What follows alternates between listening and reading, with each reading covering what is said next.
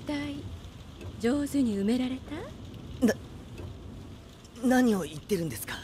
死体を埋めるときはね結構深く掘らないと野犬とかが匂いを嗅ぎつけて掘り返しちゃうことが多いのよ。ボケもツッコミもなし。はは？冗談よ。私たちあんまり相性は良くないみたいね。そそうですかう